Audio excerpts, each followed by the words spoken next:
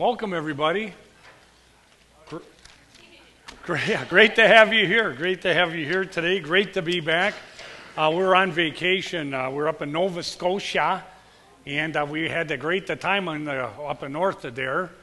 And uh, anyway, so uh, we're watching a little Tim Hawkins when we are up there, and I really appreciated the worship this morning and uh, what I what Tim Hawkins was dealing with worship, you know, and hand raising. Are you from a hand raising church or not? And and it was really pretty funny. I really like him. He's out there.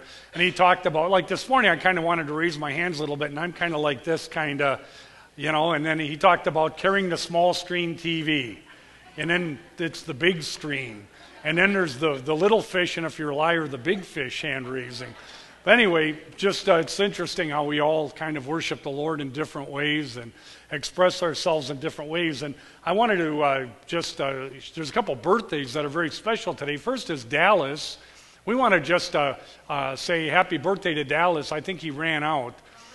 No, there he is. There he, but uh, happy birthday, Dallas, to you. And let's give him a round of applause. I appreciate Dallas and leading the worship team. We're so blessed. Uh, as Carl was sharing this morning, uh, uh, you know, over the summer attendance is kind of up and down in that. But boy, when you think of like over 80 some people, families that are involved in serving in this church is really thrilling. So thank you to all of you. But also, there's a, even a more special, not that yours isn't Dallas, but, but we have Carol Gill, who's 93 years, going to be 93 on what, Wednesday? Tuesday. Tuesday, sorry. Yeah, Tuesday. So happy birthday to you. And it's great to have her with us today. Uh, she hasn't been feeling well, but it's just great to have you here today. So, uh, a couple other things I just want to pray about this morning. Uh, there is, uh, a, and we need to really pray about this, but uh, October 3rd is a women's fellowship, and it's soup and salad. And so we need to be praying about that. Uh, women's fellowship, and Kim Dempsey is going to be our guest speaker. And um, so, anyway, we just want to just start this morning off with a word of prayer and giving thanks and uh, just coming before our Father. Father, we thank you that you're a, loving, caring God and how you work uh, in each and every one of our lives so uniquely and so special in such special ways. And thank you for these ones that we celebrate their birthdays this week, and uh, thank you for what they contribute to the body of Christ. And uh, Lord, just thank you for them and their faithfulness, and, and uh, Lord, for all the people who serve in this church, and for those who showed up at the church, uh, uh, the, the community fall festival and helped out there, Lord. We just pray you bless them. And Father, we thank you for this church that you've provided for us, this building that we can meet in and use all week long. And thank you for the weather, Lord, the warm weather. Many of us have enjoyed it, and some of us uh, have wondering what is going on. And so, Lord, we do pray for all those who've gone through all these hurricanes and the earthquakes in Mexico and fires and so many things, Lord. As we look around us, it's pretty amazing, Father, when we think of um, the extent of uh, the tragedies that have happened. And Lord, we thank you for how you've kept us safe, but we do lift up and pray for relief and help and comfort from around the world for these individuals. And Father, I pray that people who go through these difficulties, Lord, that they, if they don't know you, they would come to find you. And those who do know you, Lord, that you would encourage them by sending others alongside to help them through these difficult times. So, Father, we just praise you. We thank you for what you're doing in and around us. Thank you for this beautiful morning we have together in Jesus' name. Amen. And I just wanted to thank Rick Bartu for preaching last week heard some great things. Always great when I'm gone have, have people step in, and Rick is teaching adult Sunday school, and, and appreciate him and Jonelle. And so thank you, Rick, for your faithfulness in serving the Lord. Appreciate you so much. And uh, this morning we're, uh, we're going to pick up where we kind of left off an introduction to Ephesians. And uh, we're just going to hit the first point because that's all I got to last time, but some of you may have not been here. So we're going to touch base on, on that uh, again, and then we're hopefully going to get through the material this morning. But that's okay if we don't, because Ephesians is such a great letter, and it is a letter that gives us so much instruction on practical theology.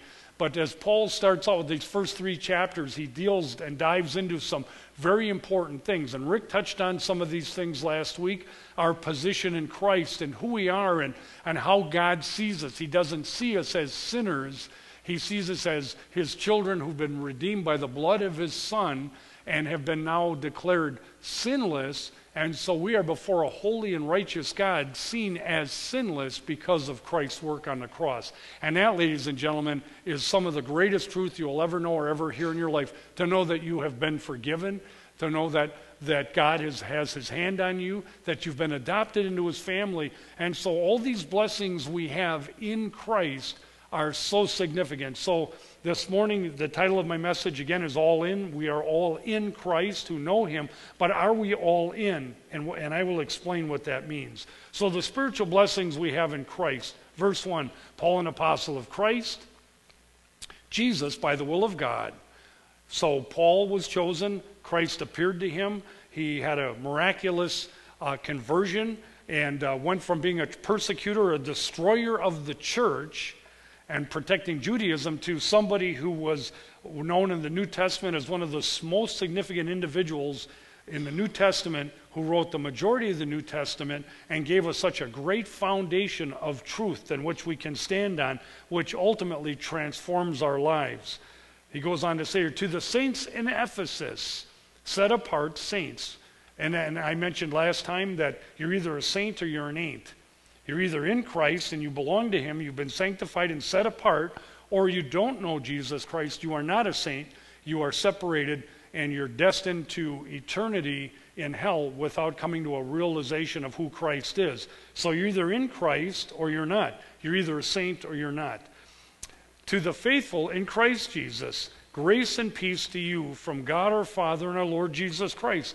And again, this grace and peace is something that could only be accomplished because of what Christ did for us on the cross. Grace that He gives us, His steadfast love, that forgiveness, and then that peace that we can only have because we stand forgiven and we stand as sinless in the presence of a holy and righteous God.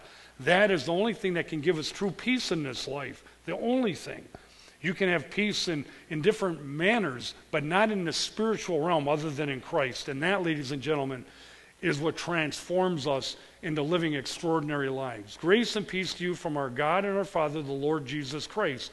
Praise be to the God and Father of our Lord Jesus Christ, who has blessed us in the heavenly realms with, with every spiritual blessing in Christ. And what that means is that there is nothing greater, there can be no greater uh, gift, there can be no greater joy, there can be no greater peace, there can be no greater place in the world, no matter what you do for a living or what kind of a family you came from or whatever your future looks like, there can be nothing, nothing greater than to be blessed in the heavenlies. Because what that statement means is that everything was accomplished on the cross of Calvary of God's redemption for mankind.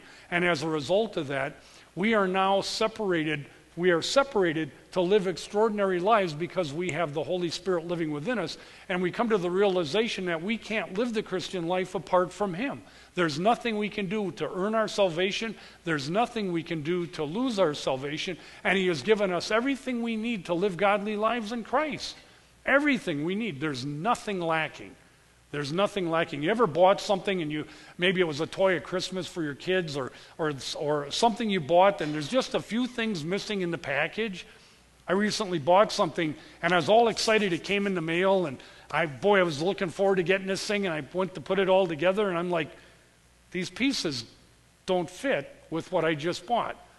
And I was, you know, you know how you're all excited about putting something together. Guys like to put something together, you know, most of the time. But anyway, so I was really disappointed. Well, eventually, after a few days, they sent me the right parts of what I was missing. But, but to be able to put it all together and to be able to have all the proper pieces and have everything that is significant that you need to accomplish something is really a great gift. So God's given us all the tools, all the tools, and made it possible for us. We're blessed in the heavenly realms with every spiritual blessing in Christ. Nothing is lacking.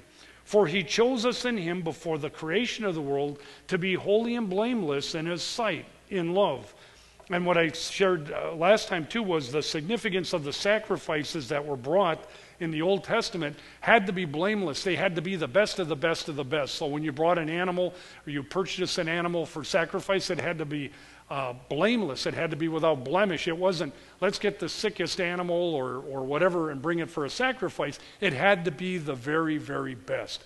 And so he, what God is saying is Jesus was, of course, his best, but now we are seen before God because of the sacrifice of Christ. We are now blameless. We are blameless. Isn't, isn't that the most wonderful feeling in the world to be blameless? That's like, that's like being able to say, too, when tax time comes around, you don't owe any taxes. In fact, the rest of your life, you won't have to pay any more taxes. Or, like, you know, you get the publisher's clearinghouse, you know, you get this huge check, and then so much of it they goes to taxes. And so now you, you don't have to worry about taxes anymore. So it's, it's like, wow. So in, in our position in Christ, we don't have to worry about the sin issue anymore because it was dealt with on Calvary. Now, is God continuing to work in our lives? Oh, yeah. Do I still stumble and fall? Yeah. But the great thing is, is God sees me as forgiven. And so when I stumble and fall, and the enemy, he loves to do this when we stumble and fall, is to say, oh, you're never, you're never gonna, you're never gonna be able to beat you, beat this. You're never gonna be able to conquer this. Oh, really?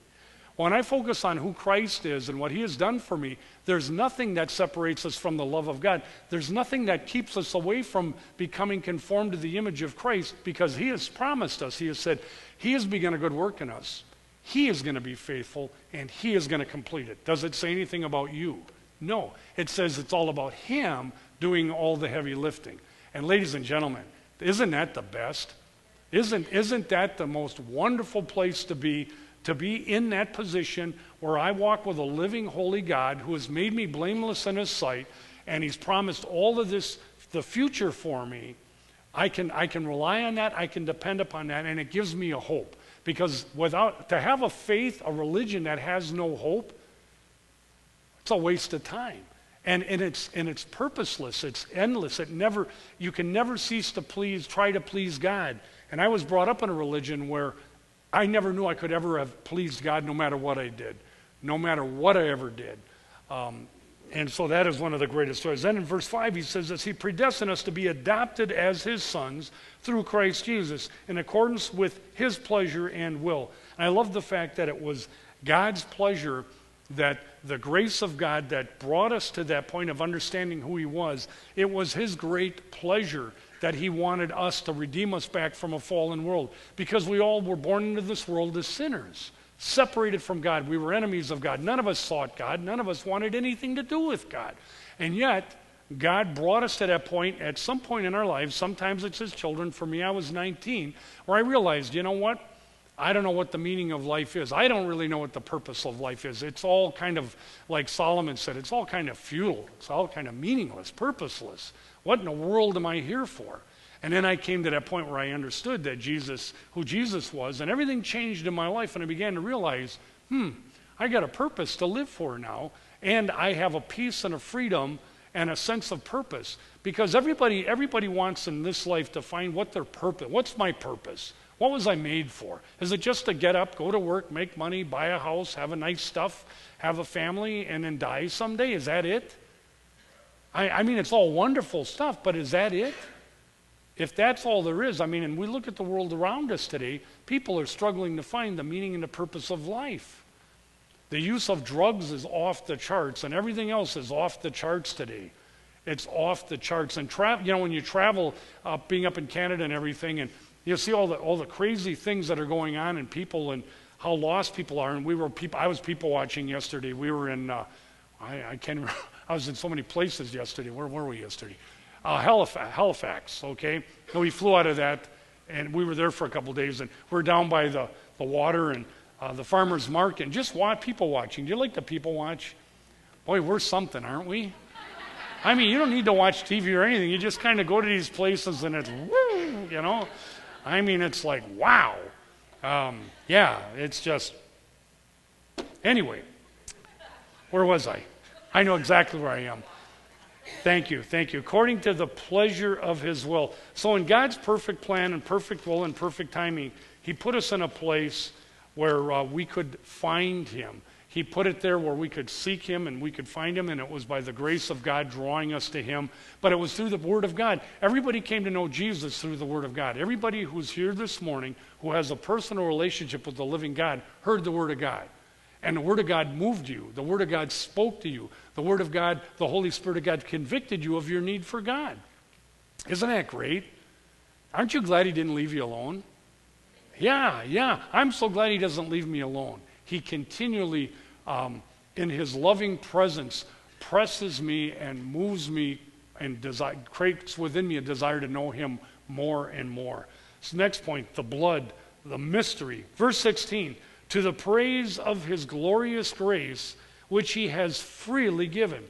And, and this is, I love Paul saying this. It is all about to, the, to His praise of His glorious grace, and His grace is glorious, which He has freely given us in the one He loves in the one he loves, and that was through the person of Jesus Christ, who became man and dwelt among us, and was that became the Lamb of God who took away the sin of the world, all sin.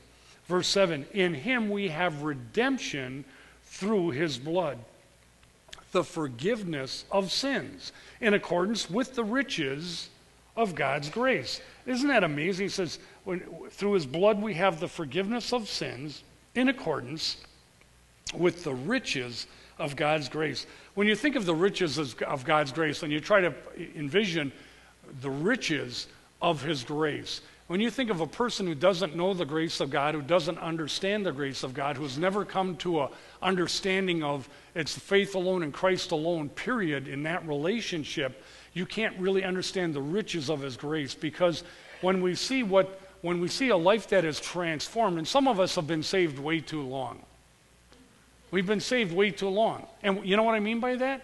It's we forgot. We have forgotten what we've been saved from. We forgot what it was like to be completely lost and without any direction, without any hope, without any purpose, what just trying to, we have forgotten.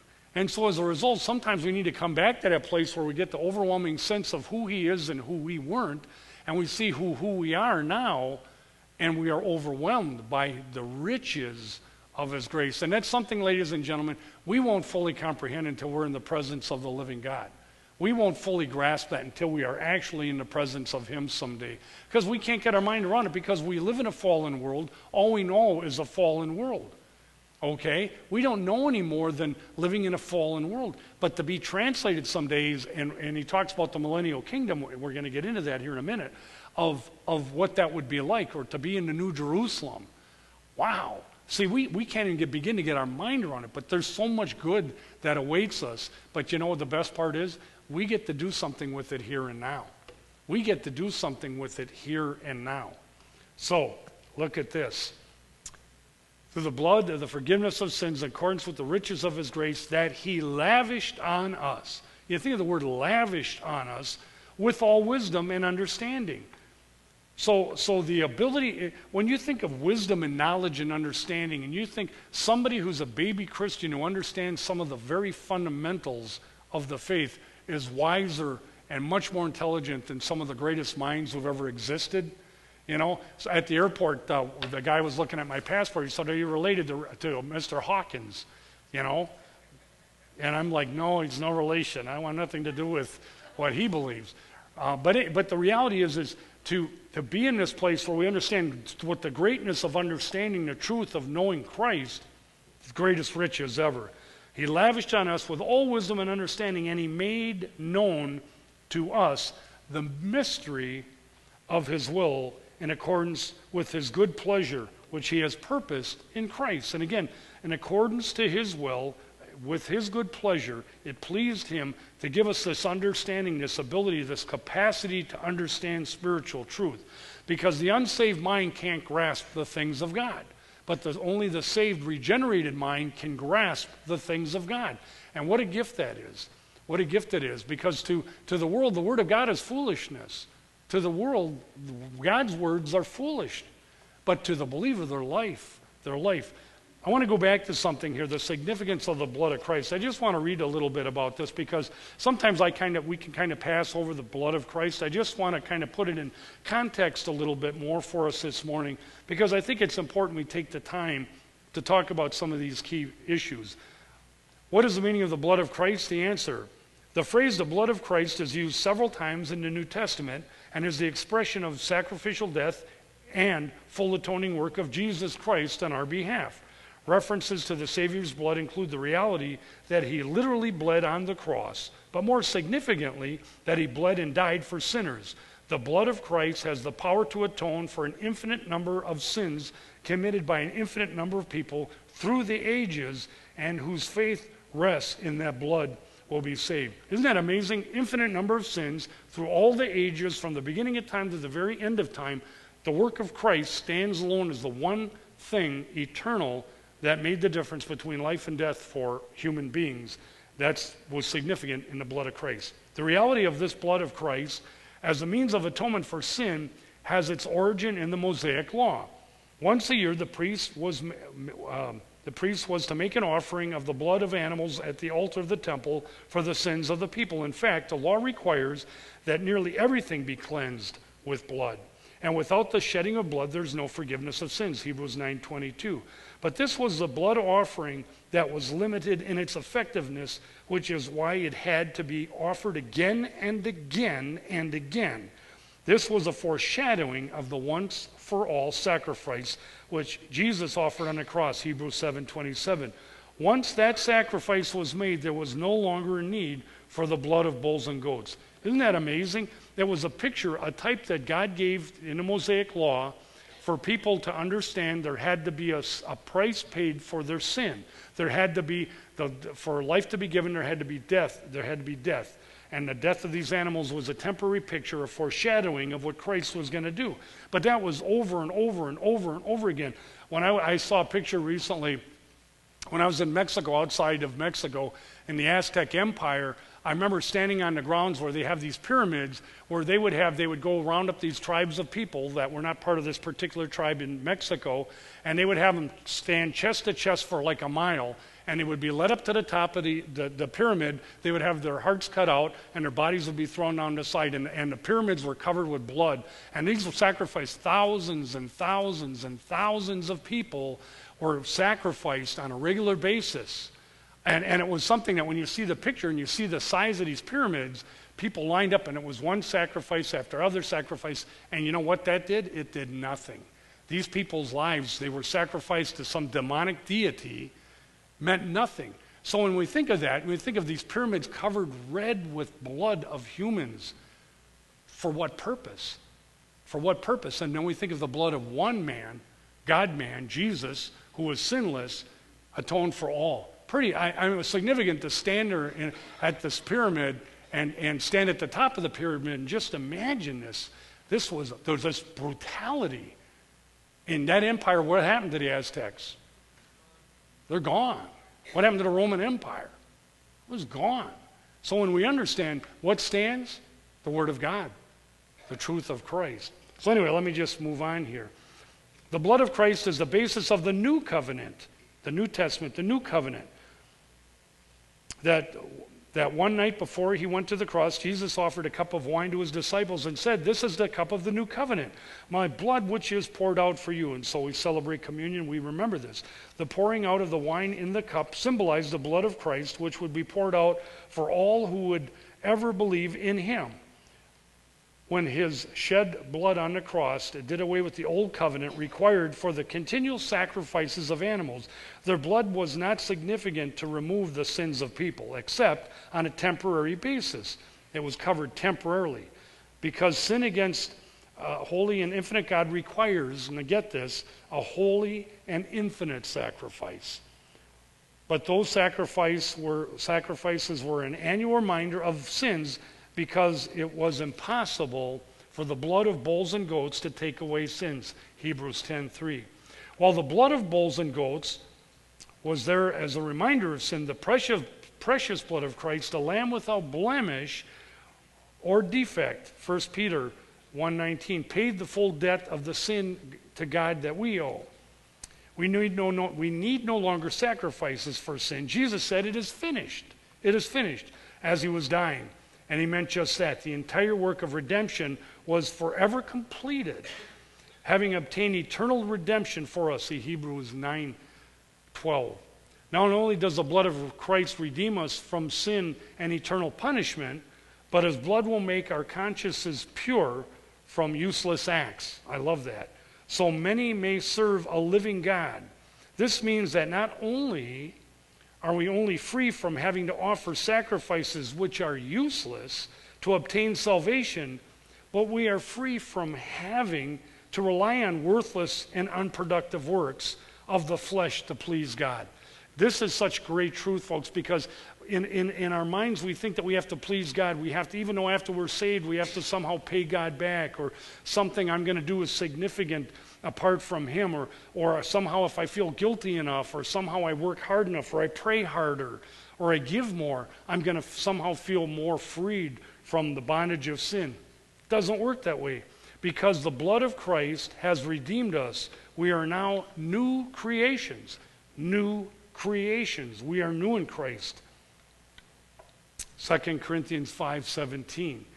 And by his by his blood we are freed from sin to serve the living God and to glorify him and to enjoy him forever. Now think about that just for a second.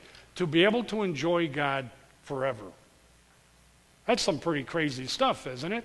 To think that the God who created all things, the God who sustains all things, the, the, God who's able to move. I had a little fun on this trip. We went to this place called the Bay of Fundy, and uh, the tides are going uh, like 40, 50 feet high. I mean, when, when the tide goes out, the tide goes out. When the tide comes in, the tide comes in. And uh, so we were there in the morning when the tide was in. It was pretty cool. But when we came back later that day, the tide was out. We went out and walked on the bottom of the ocean. And I picked up a stick and I held it like this. Marianne took a. You remember Moses, the Ten Commandments? Anyway, it was it was one of those moments I was fooling around. I'm not Moses, I know that. But, but, anyway, but, but what took me back was when you see, it kind of gave us a sense of what it must have been like to cross on the Red Sea because we were walking, we're on like 30 feet, 40 feet below where the ocean had been just a few hours before. We were walking on dry ground. It was pretty cool. And it made me realize the, how awesome God is, and that how, with the movement of, of the earth and the moon and the gravitational pull, and how tides come in and tides go out, how God is in control. And even though we have disasters and things, God is in control. And, and I saw that, and I, and, and I stood there with a sense of awe for a minute. And I was just thinking to myself how little we are, how small we are, and yet our God purposely has chosen to redeem us individually by name. He knows our names. He knows who we are. He knows our address. He knows our email address.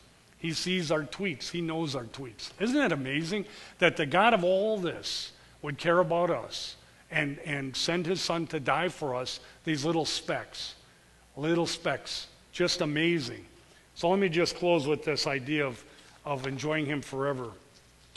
I got just a couple minutes. I'm going to try to move through here.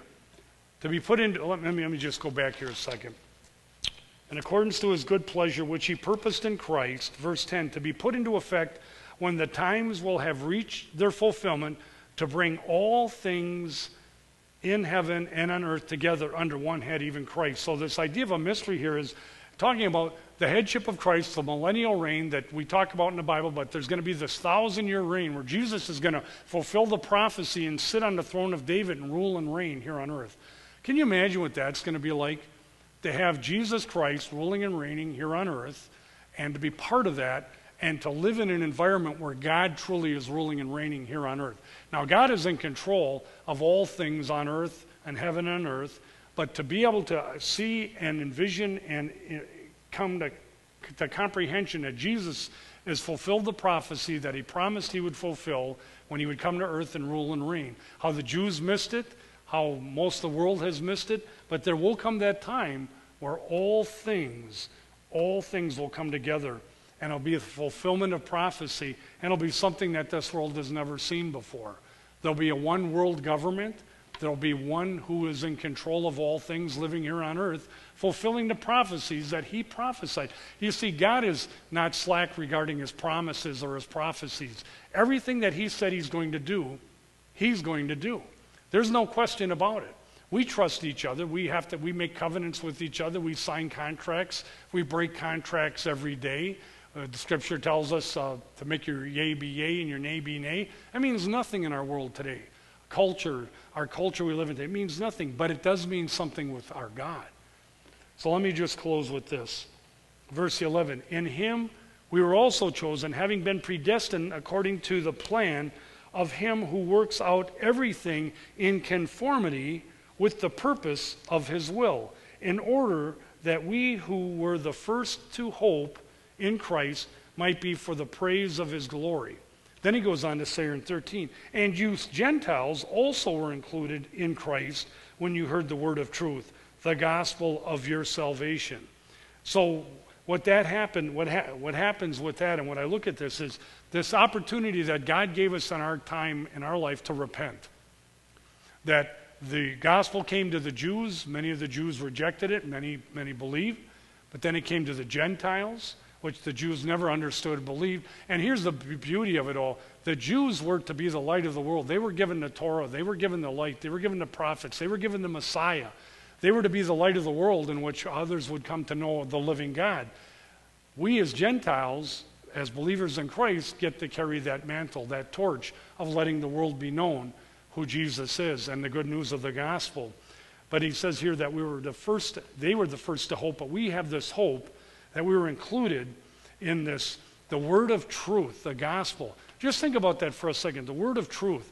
What, out of all the things that you have ever learned, out of all the things that you have ever come to understand in all your life, whatever disciplines you've studied, whatever truths you may know to be true, there's nothing but the truth of the gospel of Jesus Christ that can transform a person's life. Nothing. There's nothing. You can be cured from cancer, you can survive surgeries, you can survive heart attacks and strokes, and on and on and on. There's nothing but the gospel of Christ that can tr- completely transform a person's life and bring them from death to life. Isn't that amazing? That is, that is, ladies and gentlemen, that is the greatest gift. The greatest gift that we could ever have, mankind could ever have. And we get to be part of that here in this church. So I want to encourage you to invite your friends. I want to encourage to have the kids invite their kids out to, a, to Awana. We get that privilege with working with the kids, our small children here. Youth group, we get to work with that, with adults, with Sunday school. We have the freedom to proclaim the good news of Jesus Christ, the only thing that can completely and utterly transform a person's life. Isn't that amazing? I'm always in awe of that. I'm, I'm truly in awe of that, that God entrusted you and me with these truths. Isn't that scary? That's a little bit scary because, man, there's times I can't even carry my coffee across the room without spilling it. You know, I mean, seriously, I mean, I'm, I'm like, I'm pretty incompetent. Doesn't that make you feel good? Um, but, but the, reality, the reality is, he gives us this wonderful truth to proclaim the most wonderful, magnificent truth that has ever been proclaimed ever in this world from the beginning of time to the very end of time. The gospel of Christ, the Bible is Christ centric. It's either, either Jesus is coming or Jesus has come. And what are we going to do with that? What are we going to do with that this week? Let's pray. Father, as we come to you, we recognize the truth of the gospel and how you give us this privilege of just saying, Lord, I'm a sinner. I need Jesus. I can't do this. I can't live the Christian life. I can't save myself. In fact, the way I'm living sometimes, Lord, I wonder what, I'm, what I even believe. But God, you are there to um, help us to see who we are in you and what you've done for us, that you see us as your adopted children, that you sent Christ on a rescue mission to save us. And so by putting our trust in what Christ did, recognizing we're sinners and we repent, I say, I'm a sinner. I need a Savior and that I can't save myself. So I accept the gift of salvation by the death, burial, and resurrection, the perfect shed blood of Jesus Christ. And then given the Spirit, the seal, the promise of the Holy Spirit, who is the deposit, He guaranteed our inheritance until the redemption of those who are God's possession. Father, thank you for making us your possession. Thank you for making us your children. Thank you for dying for us, Lord Jesus Christ. Thank you, Holy Spirit, for sealing us. Father, thank you for loving us with a love that we will never fully understand, that agape love. Thank you. In Jesus' name, amen.